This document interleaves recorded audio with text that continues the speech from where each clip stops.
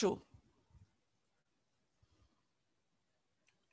बृहन मुंबई महानगर पालिका माध्यमिक शिक्षण विभाग ऑनलाइन अध्यापन में मालवणी मराठी मनपा माध्यमिक स्कूल मालाड पश्चिम से मैं श्रीमती नेहा विस्पुते आप सभी का स्वागत करती हूँ तो चलो बच्चों, आज हम पढ़ने जा रहे हैं कक्षा नौवीं विषय है हिंदी, इकाई है दूसरी और कविता है आठवीं, जिसका नाम है उड़ान। बच्चों, इसकी विधा है गज़ल। आज हम गज़ल पढ़ने वाले हैं और इसके कवि है चंद्रसेन विराट जी। तो इससे पहले कि हम अपनी कविता, गज़ल जो शुरू करें, हमने पिछले अध्यापन में क्या सीखा था, एक बार उसे याद कर लेते हैं। देखिए बच्चों, मनुष्य इस सृष्टि का सर्वश्रेष्ठ प्राणी है। उसे ईश्वर ने बुद्धि दी है, कल्पना और तर्क शक्ति भी दी है। साथ ही अनेक मानवीय गुणों से परिपूर्ण किया है। तो बच्चों, इसके बारे में हमने कहे कविराय गिरधर जी के दोहे में या तो कुंडलियों में सीखा है कि मानव को गुणों से परिपूर्ण होना चाहिए। अन्यथा उसे कोई स्वीकार नहीं करता है और उसके लिए उन्होंने हमें कोयल और कौवे का भी उदाहरण दिया था। कि दोनों दिखने में समान है, चाहे उनका रंग भी एक है, लेकिन जब उनकी बोली हम सुनते हैं तो बच्चों, हम कोयल को ही अपनाते हैं और कौवे को उड़ा देते हैं। तो इसीलिए अच्छे गुण तो होने ही चाहिए। और साथ में मनुष्य यदि शिष्टाचार से व्यवहार करे तो आज के युग में भी मानवता और मानवीय गुण बरकरार रहेंगे। बच्चों, शिष्टाचार मतलब सबसे अच्छा व्यवहार करना, अपने साथ भी और दूसरों के साथ भी। तो ऐसे कई और गुणों के बारे में हम आज अपनी कविता में, गज़ल में सीखने वाले हैं। तो ये है अपनी कविता उड़ान। चित्र में बच्चों, आप देख रहे हो कि एक पंछी है जो अपने पंखों पर विश्वास रखकर उड़ान भर रहा है। उड़ान शब्द राम सामने आते ही दिमाग के सामने हमारे, दिलो दिमाग के सामने उड़ता हुआ पंछी, रॉकेट, एरोप्लेन और साथ साथ पैराग्लाइडिंग करते हुए लोगों का चित्र अपने आप नज़र के सामने आ जाता है। क्योंकि उनकी उड़ान होती है, उनका लक्ष्य होता है। एक ऐसा सफ़र जो ज़मीन से उठकर आसमान तक छूने की कोशिश करता है। तो बच्चों पहले हम इनके कवि है, चाहे कवि कहे, गीतकार कहे या गजलकार कहे, इनके बारे में थोड़ी जानकारी ले लेते हैं। विराट जी का मूल नाम चंद्रसेन डोके था, जिन्हें विराट उपनाम से समूचा काव्य जगत जानता है। वे विराट के उपनाम से ही प्रतिष्ठित कवि सम्मेलनों में सस्वर पाठ किया करते थे। इनका जन्म 3 दिसंबर 1936 मध्य प्रदेश में हुआ। हिंदी गज़ल के इतिहास में चंद्रसेन विराट जी का नाम शीर्षस्थ गजलकारों में है। शीर्षस्थ गजलकार मतलब बच्चों बड़े बड़े जो गजलकार हो गए हैं, उनमें इनका नाम बड़े ही आदर से लिया जाता है। वैसे ही दुष्यंत कुमार के बाद हिंदी गजलों को जिन गजलकारों ने अपनी मौलिकता को सममिश्रित कर नई ऊंचाइयाँ दी। एक नई ज़मीन प्रदान की। उनमें चंद्रसेन विराट का नाम प्रमुखता से लिया जाता है।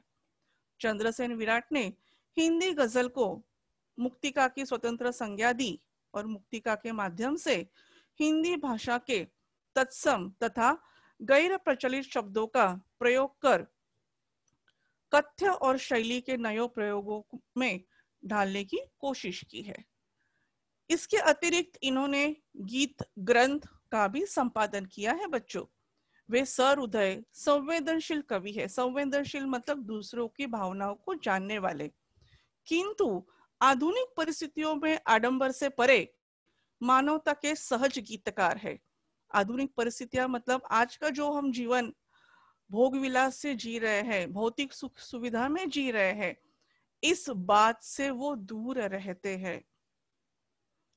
उनकी कविताएँ प्रेम और मानवीय रिश्तों से गहरे रूप में जुड़ी हुई है। मतलब ज़्यादातर उनकी कविताएँ गजलों में प्रेम और मानव रिश्ता, रिश्ते के बारे में ज़्यादा कहा जाता है। वे गीत, गजलों एवं मुक्तिकाओं के माध्यम से प्रणयकार तथा राष्ट्रीय चेतना व इंसान की घुटन भरी ज़िंदगी का चित्रण करने में सफल रहे हैं। साथ साथ भारत की मिट्टी के प्रति ये आस्थावान है। और हरे भरे खुशहाल गाँव को देखना चाहते हैं। आपने नवगीतों और गजलों से मिली जुली मुक्तिकाओं में आम आदमी के जीवन को गहराई से देखा है। बच्चों, यहाँ पर आम आदमी मतलब हम जैसे कि जो ईमानदारी से कमाते हैं और उसमें ही हम अपना गुजारा करने की कोशिश करते हैं। तो इन्हें ज़्यादा लेकर उन्होंने अपने गजलों में और नवगीतों में लिया है और हमारे सामने प्रस्तुत किया है। इनकी प्रमुख कृतियाँ देख लीजिए बच्चों। मेहंदी रची हथेली, स्वर के सोपान, मिट्टी मेरे देश की धार के विपरीत आदि इनके गीत संग्रह है। आस्था के अमलतास कचनार की टहनी न्याय कर मेरे समय आदि गज़ल संग्रह है। तो कुछ पलाश, कुछ पाटल, कुछ सपने, कुछ सच आदि मुक्तक संग्रह है बच्चों। तो आइए, जरा हम पद्य संबंधी जान ले कि आज जो हम गज़ल सीखने वाले हैं, पढ़ने वाले हैं, उसके बारे में थोड़ी जानकारी ले लेते हैं।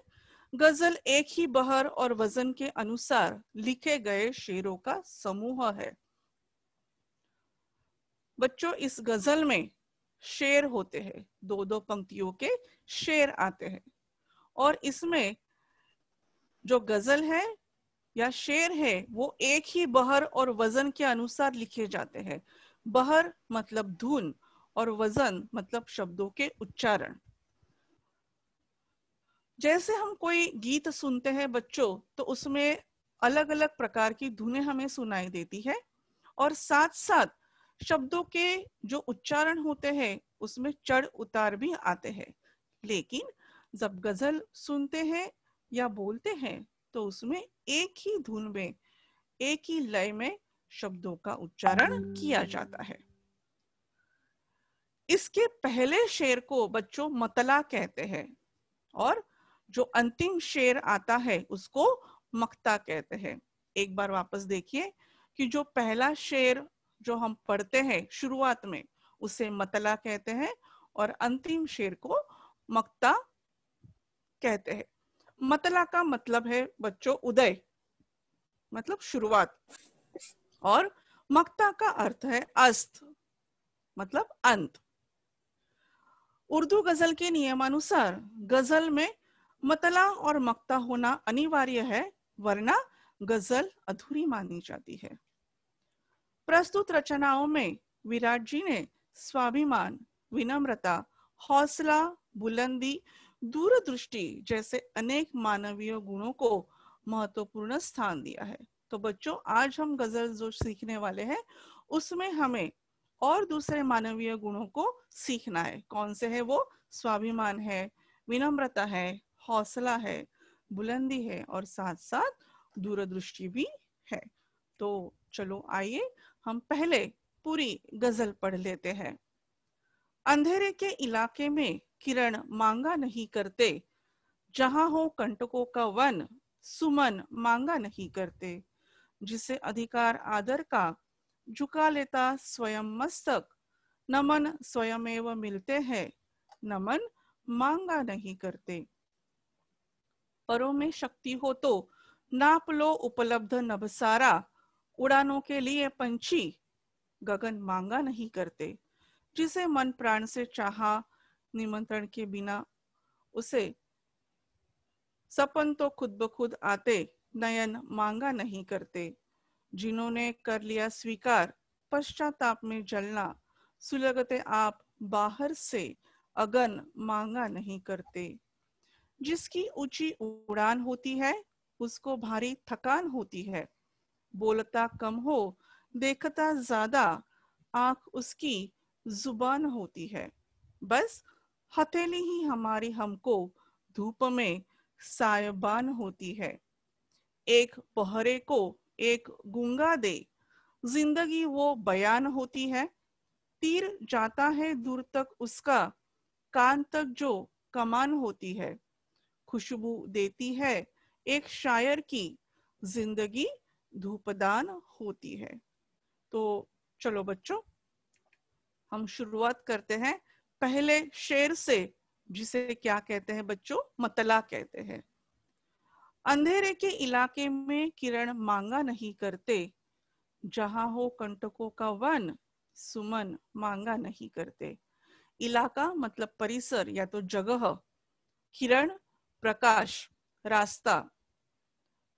कंटको मतलब काटे, वन मतलब जंगल और सुमन मतलब फूल। तो बच्चों, यहाँ पर कवि कहते हैं कि आप जिस परिसर में हो, जिस इलाके में हो, वो अगर अंधेरे से घिरा होगा तो आप वहाँ पर किसी प्रकाश की उम्मीद नहीं रख सकते। और जहाँ पर कांटों का वन हो, वहाँ पर आप सुमन की इच्छा नहीं कर सकते। और विस्तृत तरह से हम देख लेते हैं बच्चों, कि जब व्यक्ति अंधेरे क्षेत्र में हो तो वहाँ प्रकाश की किरण मांगने से कोई लाभ नहीं है, क्योंकि प्रकाश होगा ही नहीं। इसका मतलब है बच्चों, अंधेरा क्षेत्र मतलब परेशानियाँ, मुश्किलियाँ।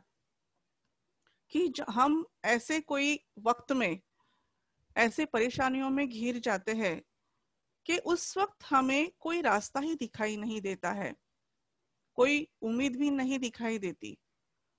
और यहाँ पर कवि कहते हैं कि ऐसे वक्त में हमें किसी और से मदद की उम्मीद नहीं रखनी चाहिए, क्योंकि हमारा जो स्वाभिमान है, उसे ठेस नहीं पहुंचानी चाहिए। अपने स्वाभिमान को संभल कर खुद ब खुद उस अंधेरे क्षेत्र से या मुसीबतों से बाहर निकल आना चाहिए, क्योंकि प्रकाश मांगने जाओगे मतलब मदद मांगने जाओगे तो कोई मदद तो करेगा नहीं, लेकिन हँसी ज़रूर उड़ाएगा। तो उससे हमारे स्वाभिमान को ठेस पहुँचती है। तो अपने स्वाभिमान को जतन करने के लिए खुद ब, खुद ऐसे अंधेरे जगह से हमें निकलना है कि जहाँ पर क्या है, प्रकाश की उम्मीद है, खुद अपने आप को मदद करनी है और उस रास्ते लाना है जहाँ पर प्रकाश दिखाई देता है। और इसी तरह जब हम कांटों के वन में होते हो ना बच्चों तो हम फूलों की आशा करना गलत बात है, क्योंकि वहाँ फूल मिल ही नहीं सकते।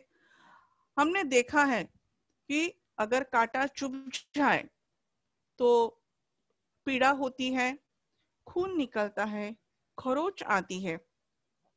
और अगर ऐसे कांटों के वन में हम घेरे हो तो बच्चों आप वहाँ पर किसी और की मदद के लिए बैठकर अपने आप को पीड़ा देना ये बात गलत है।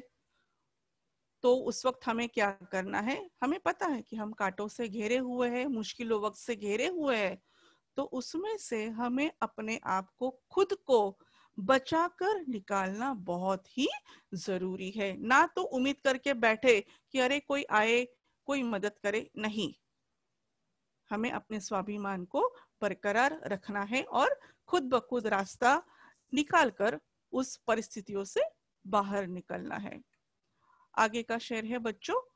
जिसे अधिकार आदर का झुका लेता स्वयं मस्तक। नमन स्वयं एवं मिलते हैं, नमन मांगा नहीं करते। स्वयं एवं मतलब अपने आप, नमन मतलब नमस्कार। कि जिस व्यक्ति के पास बच्चों अधिकार होता है, पैसा होता है, सत्ता होती है तो उसने उस चीज़ों को दूसरों के मदद के लिए इस्तेमाल करना चाहिए। और ऐसा अगर कोई व्यक्ति होगा तो वो सच में आदर के लायक होता है।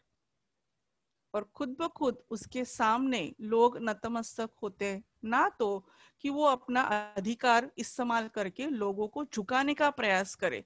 तो ऐसे नमस्कार में तो कोई मतलब ही नहीं है ना, वो तो ज़बरदस्ती हो गई बच्चों।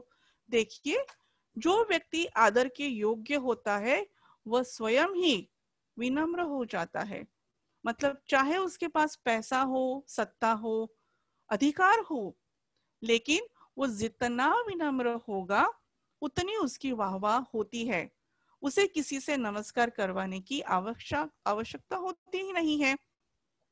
उसके कार्य, उसके कर्म ही खुद ब खुद बोलते हैं कि ऐसे व्यक्ति को लोग स्वयं झुककर नमस्कार करते हैं उसका सम्मान करते हैं।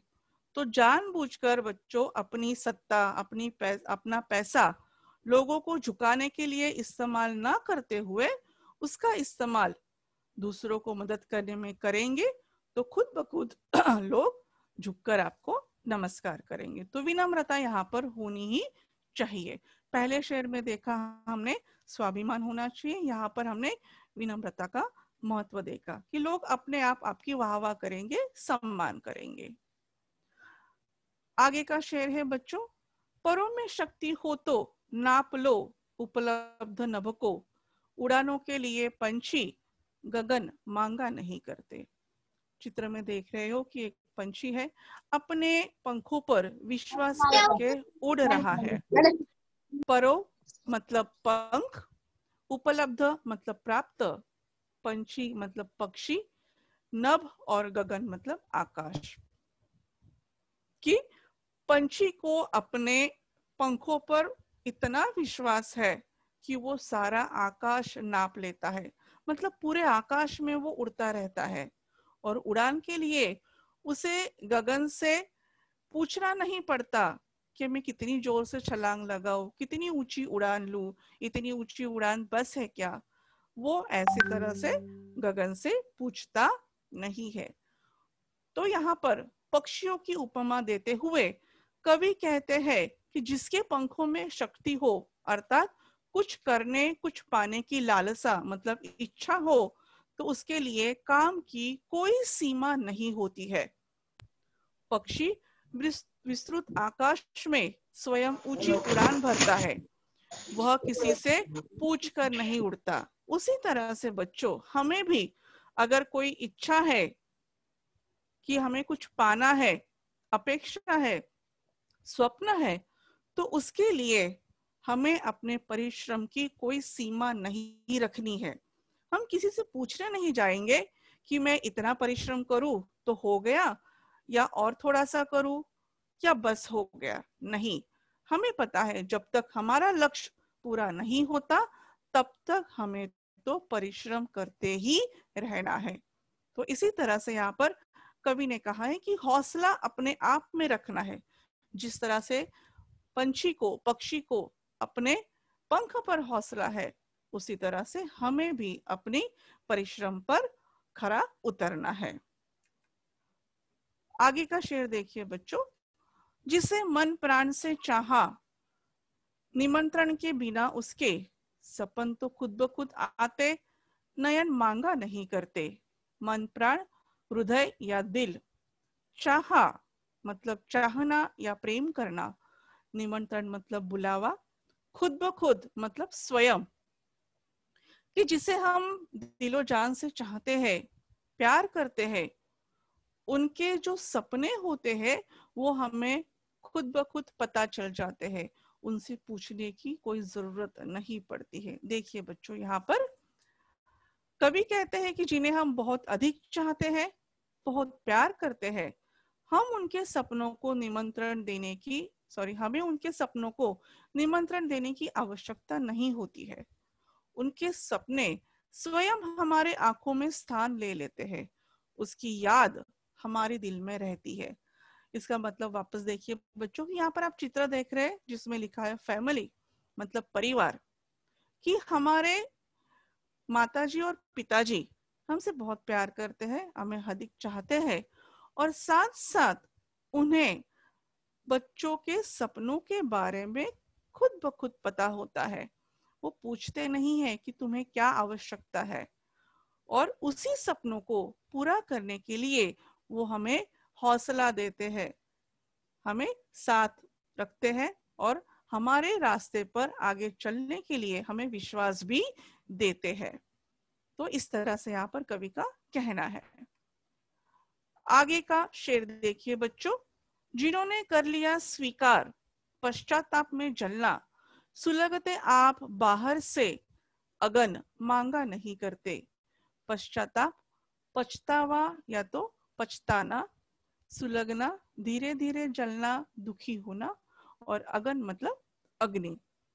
कि यहाँ पर कवि कहते हैं कि जो लोग अपनी गलती जानकर उसे सुधारने के लिए पछतावा करते हैं, उन्हें बाहर के किसी भी व्यक्ति द्वारा चेताने की ज़रूरत नहीं होती है। मतलब क्या है बच्चों? कि एक तो पहले आप ये जान लो कि खुद से गलती हुई है गलती को जानकर फिर स्वीकार लो कि हाँ मुझसे गलती हुई है और उससे सुधारने के लिए पश्चाताप भी करना है।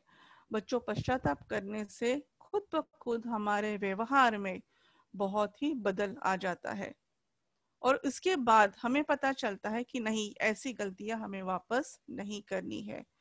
और अगर ऐसा हम कर सकते हैं ना तो उसके लिए और किसी बाहर की व्यक्ति से हमें टोकने की या चेताने की ज़रूरत नहीं पड़ती क्योंकि बाहर के लोग बच्चों सिर्फ़ हमारी गलतियाँ देखने, दिखाने के लिए ही बैठे हुए होते कि तुमसे ये गलती हुई, ये गलती हुई, अब क्या होगा, आगे क्या होगा।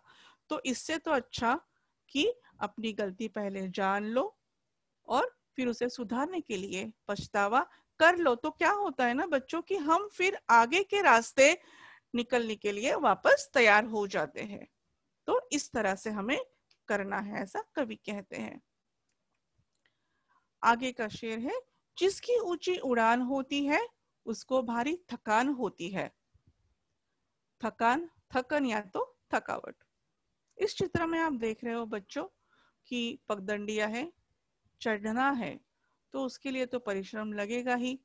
जितनी जिसकी उतनी ऊँची उड़ान होगी, उसको उतनी थकान भी लगेगी।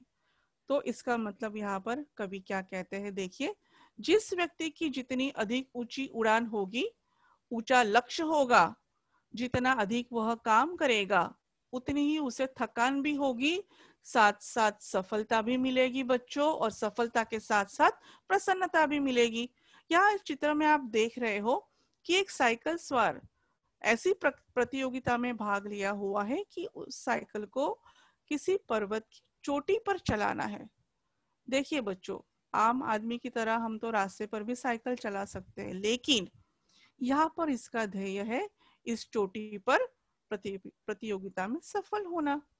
तो उसके लिए तो इसने बहुत सारे परिश्रम किए हैं थकान भी आई है लेकिन उसका अंतिम लक्ष्य है प्रतियोगिता जीतना क्योंकि उसे पता है मैं जीतने वाला हूँ सफलता मेरी है और प्रसन्नता तो मुझे ही होगी। इसलिए यहाँ पे कवि कहते हैं कि अपनी उड़ान ऊँची रखो, अपना लक्ष्य ऊँचा रखो, लेकिन उस लक्ष्य को पाने के लिए आपको उतनी मेहनत तो करनी ही पड़ेगी। सिर्फ़ सोच के तो काम होगा नहीं, थकान भी आएगी, लेकिन अंतिम धैर्य पूर्ण होने के बाद सफलता और प्रसन्नता तो हमारी ही है बच्चों। आगे का शेर देखिए, बोलता कम जो देखता ज़्यादा आँख उसकी ज़ुबान होती है। ज़ुबान मतलब बोली। जो बोलता कम है, वो देखता, परखता ज़्यादा है। और उसकी आँख ज़ुबान की काम करती है। ऐसे होता है ना बच्चों कभी कभार कि कोई ज़्यादा बोलने वाले होते हैं तो कोई कम तो कोई कुछ बोलता ही नहीं है। लेकिन कम बोलने वालों को लोग बोलते अरे, इसे कुछ समझ में नहीं आ रहा है ये बोलता क्यों नहीं है? इस तरह से उसका मज़ाक उड़ाया जाता है। तो देखा जाए ना, जब इंसान कम उम्र में होता है तो एक तो वो क्या करता है? तू तड़ाक से बातें करता है साथ साथ पलट कर जवाब भी देता है, गुस्सा भी दिखाता है।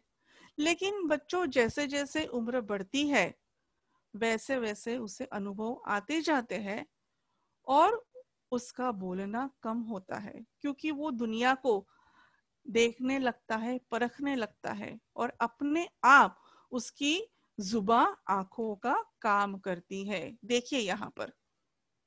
जो व्यक्ति कम बोलता है और देखता, परखता अधिक है, उसकी आँख जुबा का काम करती है, अर्थात उसकी आँखों में उसका अनुभव दिखाई देता है। चित्र में आप देख रहे हो बच्चों की ये बुज़ुर्ग है। और इसीलिए ना बच्चों पहले के जमाने में ना संयुक्त कुटुंब हुआ करते थे।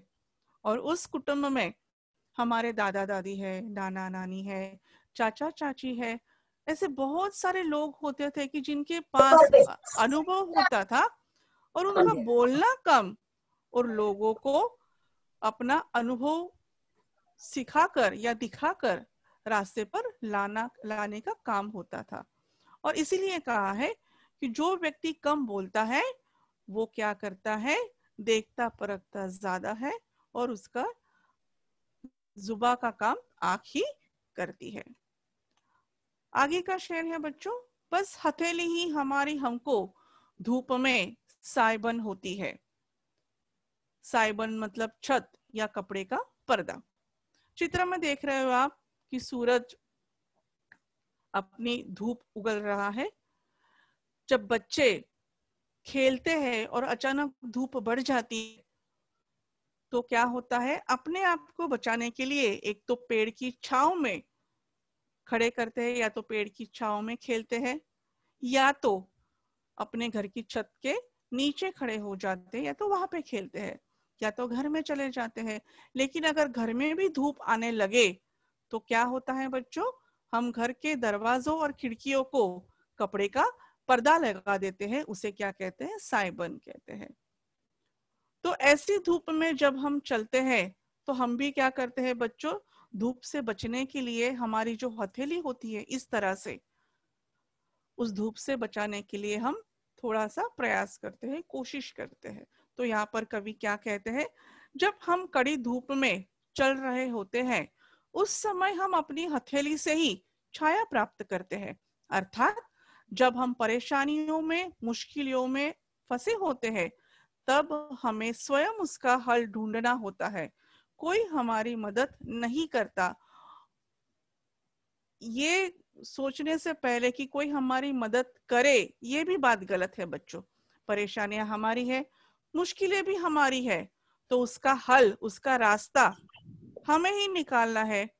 तो उसके लिए बैठना ज़रूरी नहीं कि कोई आए और हमारी मदद करे। इसलिए आप कवि कहते हैं कि मुश्किल या और परेशानियाँ हो तो उसका हल हमें खुद ढूंढकर उसमें से बाहर निकालने की कोशिश करनी चाहिए। और लेकिन एक बात है बच्चों, कि जब हमारे कोई जान पहचान में परेशानियाँ और मुश्किलों में फंसा होता है तो उसे मदद करना बहुत ज़रूरी है। लेकिन उसके अवज में हम किसी की राह देखे ये गलत बात है। उसके लिए तो हमें खुद ब खुद बाहर निकलना पड़ेगा। आगे का शेर देखिए बच्चों। एक बहरे को एक गुंगा दे। ज़िंदगी वो बया होती है। बहरा न सुनाई देने वाला और गुंगा मतलब जिसे जो बोल नहीं सकता। बयान मतलब वर्णन। हम किसी के साथ जान पहचान कब बढ़ा सकते हैं बच्चों? जब हम किसी के साथ बातें करते हैं, किसी को सुनते हैं, उस वक्त जान पहचान होती है, दोस्ती होती है। लेकिन आप ऐसा कह सकते हो क्या कि दो व्यक्ति एक साथ आ जाए, जो एक बहरा है और एक गुंगा है तो उसमें दोस्ती होगी? ज़रूर होती है। तो इसी तरह से इस चित्र में देखिए, एक लड़का है और एक डॉगी है मतलब कुत्ता है। तो जो लड़का है, वो बोल नहीं सकता है और जो कुत्ता है, वो सुन नहीं सकता है। फिर भी चित्र में देखिए, बच्चों, एक दूसरे के गले में लिपट कर ये सोए हुए हैं। एक गूँगा जब बहरे से बात करे, भी ज़िंदगी है। न बोले, ना सुने, एक दूसरे के मन को जान जाते हैं। और ऐसा कब होता है बच्चों? क्योंकि ये भाव जो है, प्यार के, वो दिल से आते हैं। तो उसके लिए बोलना और सुनना ज़रूरी नहीं है बच्चों। फिर भी हमारी दोस्ती हो सकती है, इस तरह से यहाँ पर कवि का कहना है। आगे का शेर देखिए बच्चों। तीर जाता है दूर तक उसका, कान तक जो कमान होती है। हमने तीर भी देखा है और धनुष भी देखा है। कमान मतलब धनुष की डोरी होती है। जितना तीर कमान को लेकर आप कमान खींचोगे कान तक, उतना ही वो दूर तक जाता है। इसका मतलब क्या कहते हैं? कवि देखिए जरा। जो धनुर्धारी कान तक कमान को खींचता है, आप चित्र में देख रहे हैं, उसका तीर उतना ही दूर तक जाता है। अर्थात व्यक्ति अपना लक्ष्य मतलब अपना सपना, जितना ऊँचा बनाता है उसकी उपलब्धि भी उतनी अधिक होती है। उपलब्धि मतलब सफलता। कि हमें अपना लक्ष्य बहुत दूर तक का बनाना है, ऊँचा बनाना है। और जब उसकी सफलता मिलेगी तो हमें प्रसन्नता होगी। लेकिन इसके बीच में बच्चों, अपने लक्ष्य को पूरा करने के लिए हमें तो प्रयास करना होगा ना। प्रयत्न करने होंगे। क्योंकि यहाँ पर एक दिन में तो ये तीर, वह अपने लक्ष्य पर छोड़ने के लिए धनुर्धारी तैयार तो नहीं होगा। उसने बहुत कड़ी मेहनत की होगी तो उसी तरह से हमें भी अपने लक्ष्य पर पहुँचने के लिए एक तो लक्ष्य ऊँचा बनाना है, बहुत दूर तक का लक्ष्य बनाना है, और उस पर पहुँचने के लिए कड़ी मेहनत करनी है। तो उसकी सफलता हमारी ही है। बच्चों, अभी आप छोटे हो, आपका लक्ष्य क्या है? नौवीं पास कर कर दसवीं में जाना, दसवीं में अच्छी तरह से अंक प्राप्त करना। तो सिर्फ़ सोचने से तो होगा नहीं। आपने सोचा कि मैं तो सौ प्रतिशत अंक अपने परीक्षा में ज़रूर लाऊँगा। उस सोच के साथ साथ परिश्रम भी उतना हमें करना है बच्चों, क्योंकि आजकल हम देखते हैं कि बहुत सारे बच्चों को सौ प्रतिशत मार्क्स मिल जाते हैं दसवीं की बोर्ड परीक्षा में। वो किसकी वजह से? तो उतनी उनकी मेहनत, परिश्रम होता है और इसीलिए उनकी उपलब्धि भी उतनी अधिक होती है। तो इस तरह से हौसला रखना है, बुलंदी रखनी है। आगे देखिए बच्चों, अभी ये हमारा अंतिम शेर है जिसको मक्ता कहते हैं। खुशबू देती है एक शायर की, ज़िंदगी धूपदान होती है। खुशबू मतलब सुगंध शायर मतलब कवि, धूपदान मतलब एक पात्र जिसमें सुगंधित द्रव्य जलाया जाता है। सुगंधित द्रव्य जलाने के बाद बच्चों, वहाँ का सारा परिसर सुगंधित हो जाता है। तो उसी तरह से शायर की ज़िंदगी है कि वो लोगों की ज़िंदगी में खुशबू फैलाता है। देखिए जरा इस तरह से। एक शायर की ज़िंदगी धूपदान के समान होती है। जिस प्रकार धूपदान में जलता हुआ द्रव्य अपनी सुगंध से वातावरण को सुवासित कर देता है। उसी प्रकार शायर मतलब कवि, भी अपनी प्रसिद्धि फैलाता है।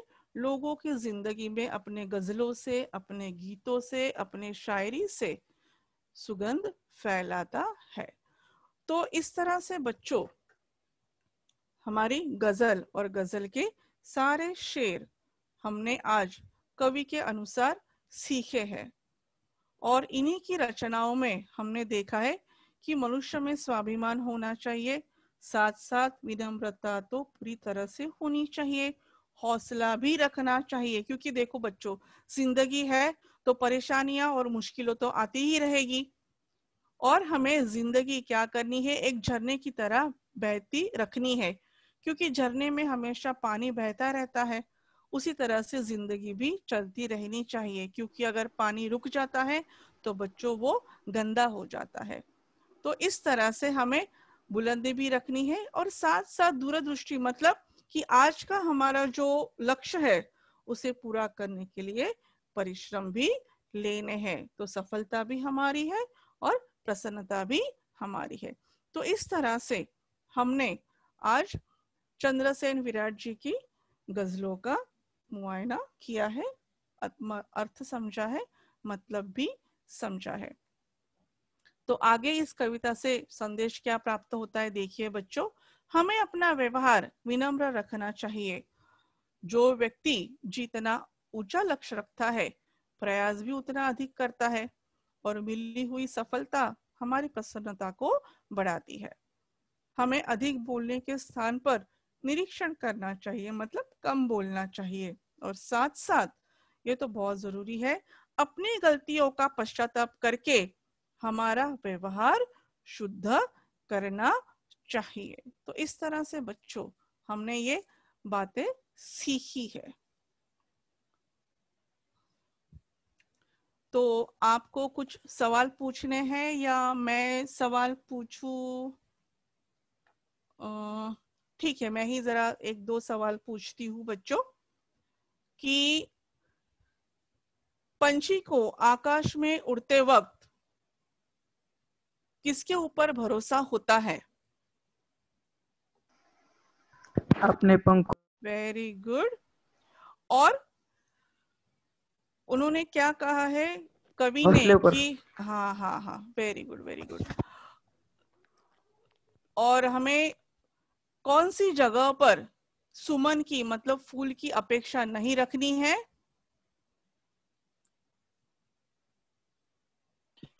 कांटों के वन में। हाँ कांटों के वन में क्योंकि वहाँ पे फूल खिलते ही नहीं है। वेरी गुड और एक कि एक शायर की ज़िंदगी किस तरह से होती है बच्चों?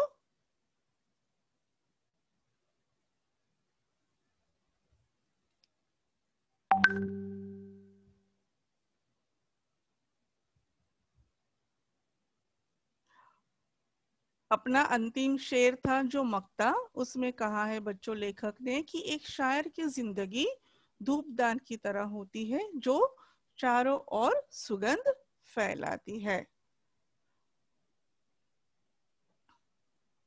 ओके बच्चों।